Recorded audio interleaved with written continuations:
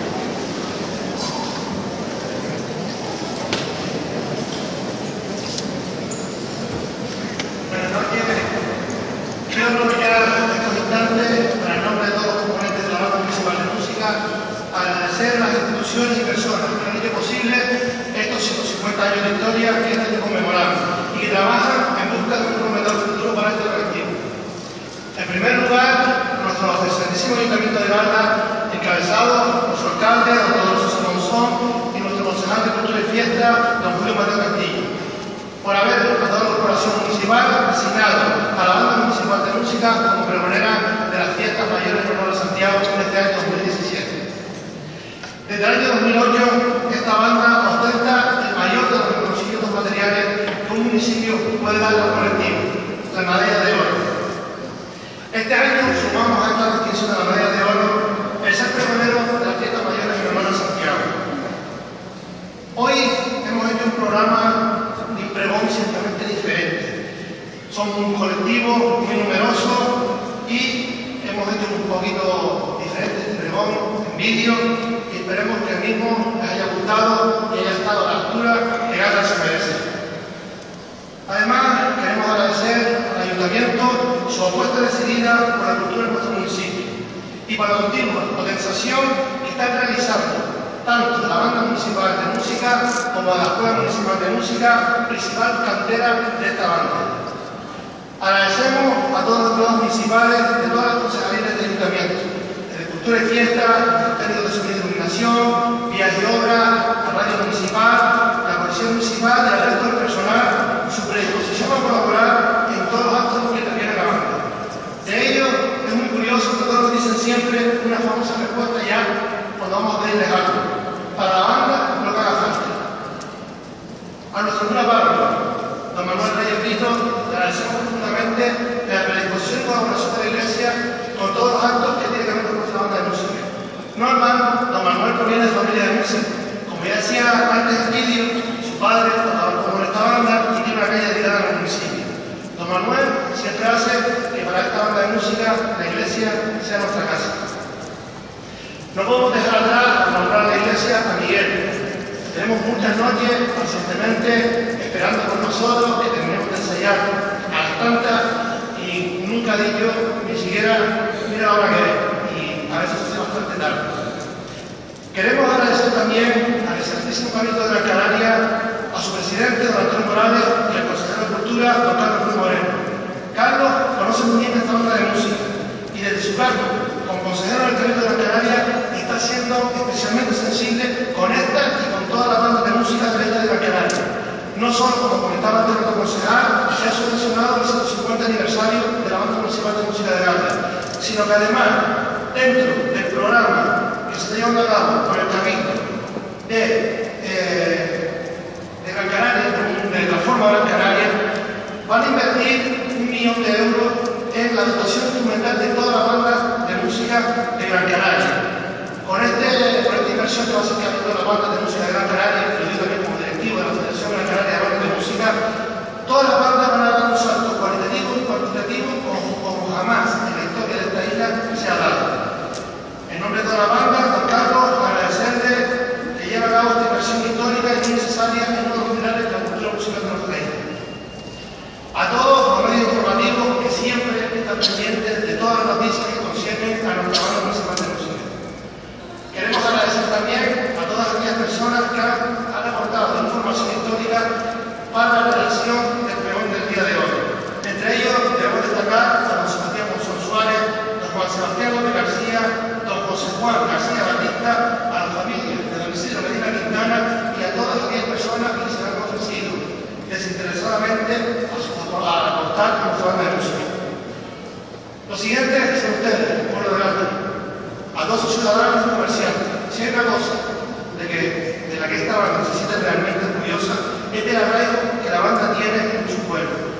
No hay mejor recompensa para nosotros que ver cada concierto, como sucede en el día de hoy, en el resto del público, intentar hacer disfrutar como hacemos nosotros, o intentamos disfrutando de la música. Son ustedes la verdadera razón de existir de esta banda. Por permítanme que me a la gente que está en mi espalda, los músicos de esta banda. Estos músicos trabajan muy duro cada día, compaginan sus estudios, trabajo, su vida personal con la banda de música. Especialmente en este año, en el 350 aniversario de la banda y del programa amplio y variado de actos que se deriva del mismo, la carga de trabajo necesaria para poder sacar todos los programas adelante ha sido sencillamente brutal. Hace meses que esta gente no sabe lo que es un domingo, lo que es un fin de semana. Recurrimos a ellos para realizar ensayos extras durante la semana para poder montar los variados y exigentes programas de conciertos y desfiles que se han programado o para grabar incluso los vídeos que hemos visto hoy en el pregón. Todos ellos lo han compaginado hacia mucha juventud con el final de curso, con los exámenes, de una manera brillante, con una implicación ejemplar y obteniendo los resultados que a la vista de todos quedan. Hace apenas cuatro días hemos llegado a representar nuestro país en un festival internacional de bandas de música en Italia. Venimos los deberes hechos, bien. Hemos representado a nuestro municipio, a nuestro país y volvemos ahora a Garda para pregonar las fiestas mayores de honor de Santiago con la cabeza bien alta. Las críticas a las actuaciones que hemos realizado en el país italiano no han podido ser mejores y eso es fruto del futuro trabajo que se ha realizado previamente. Solo les puedo decir, una cosa en el día de hoy. Estoy orgulloso, muy orgulloso de cada uno de ustedes. Todo trabajo bien hecho tiene su recompensa. Y sabes que el mayor de las recompensas que podemos tener todo es el aplauso del pueblo de Ángel a esta gente